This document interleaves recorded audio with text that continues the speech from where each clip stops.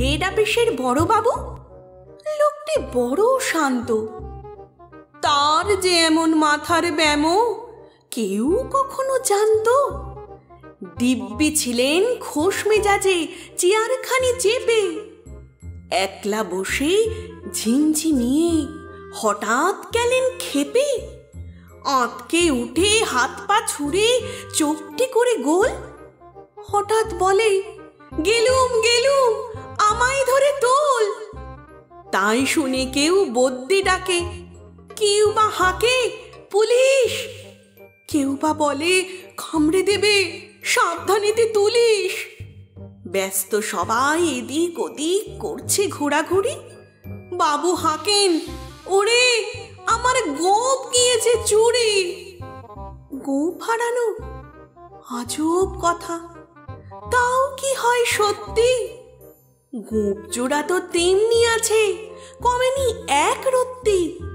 সবাই তারে বুঝিয়ে বলে, সামনে ধরে আয় না। মোটেই খুব হয়নি চুরি, কখনো তা হয় না।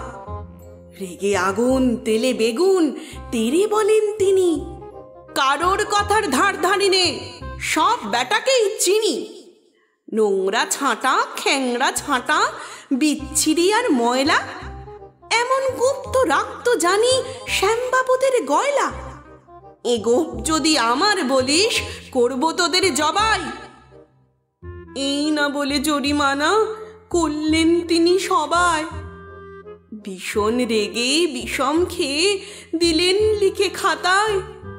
কাউকে বেশি লাই দিতে নেই, সবাই চড়ে মাথায়। আপিসের এই বাঁদরগুলো মাথায় খালি গোবর? গোপ জোড়া যে কোথায় গেল?